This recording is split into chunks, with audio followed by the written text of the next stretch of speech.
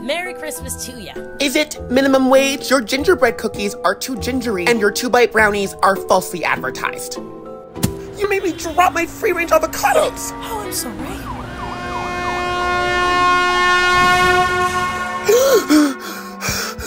Where am I? You're not quite dead, but you're not very live either. Code of conduct. Failed. Failed. Failed.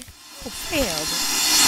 You'll have one week to redeem yourself. The only thing I need to redeem are my frequent flyer reward points. Those won't be necessary here. What's the other option? There it is. Death. One week isn't enough.